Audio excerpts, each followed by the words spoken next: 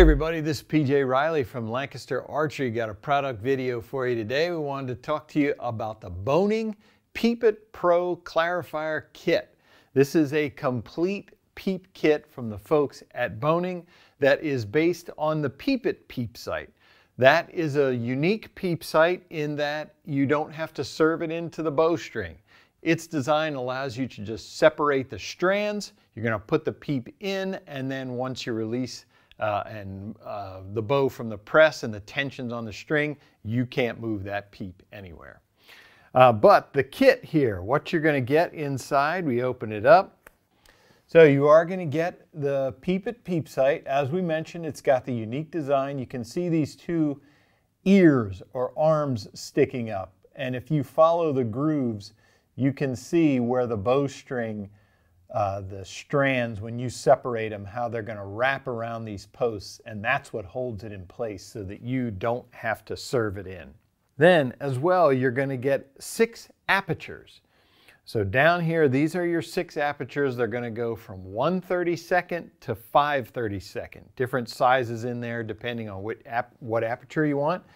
You're going to get three clarifiers up here. There's a 1, 2, and a 3 power uh, clarifier up top. So you can pick whichever you want. You can see these two devices here. You can see one is smaller than the other. Uh, th what these do is this is what holds your clarifier and your aperture in the peep sight. We'll show you how that works. But the longer one is for when you use an aperture only, no lens. The shorter one is when you use a lens and the aperture. And then you have a little tool here. This is a rubber tip device that you can use to push that uh, clarifier out. Of course, that is glass. So you want to you don't want to damage that. Don't ever put anything something hard or sharp in there to get your clarifier out. Use this. It does have a soft rubber tip on there. So let's put this together so you can see how you would assemble it. I'm just going to pick one of my clarifiers here. I'm going to go for the yellow. So I've got my Yellow, which is the one power clarifier. I, of course, have the threaded stop, that is the short one. And let's pick the 1 16th aperture. All right, now with the clarifiers, it's difficult to see on the camera here, but the clarifier is uh, angled on the edge. That is this side here on this side of the glass, it angles down to the other side. So the reason I'm pointing that out is you can see it when you have them in your hand, it's hard to show on camera, is that you want the smaller size to go in the peep first. And now you are going to load from the back. You can see the threading in there. That's where I'm going to put it in. So again, put the smaller size side of the clarifier in first that's going to help it seat down in there.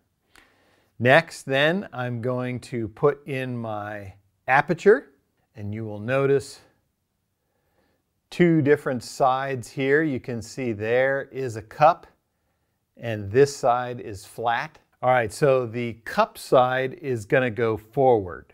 You want the flat side at the back. Uh, that cup side there, what that cup is going to do is going to help diffuse glare a little bit. And then I'm just going to take my retainer, which screws into the back.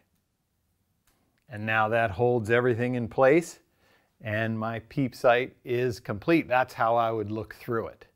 All right, so that is the Bohning Peepit Pro Clarifier Kit. Great system there from the folks at Bohning. If you like this video, give us a thumbs up.